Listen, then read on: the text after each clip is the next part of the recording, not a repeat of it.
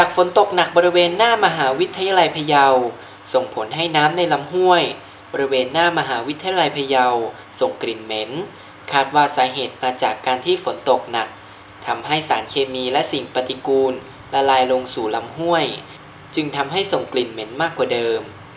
เหม็นเจ้าคือเป็นช่วงตอนที่ฝนตกกับตอนที่แดดออกแรงๆช่วงที่ฝนตกมันนะน่าจ มันไหลมากับน้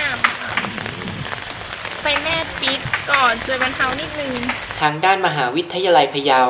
ได้มีการจัดทำสถานีเฝ้าระวังคุณภาพน้ำขึ้น เพื่อเป็นจุดวัดและบอกปริมาณสารเคมีที่อยู่ในน้ำเบื้องต้นมีการสำรวจพบว่า น้ำบริเวณนี้ยังคงมีคุณภาพดี บรรเจิดหงจัก สาขาวิชาการสื่อสารสื่อใหม่ มหาวิทยาลัยพะเยารายงาน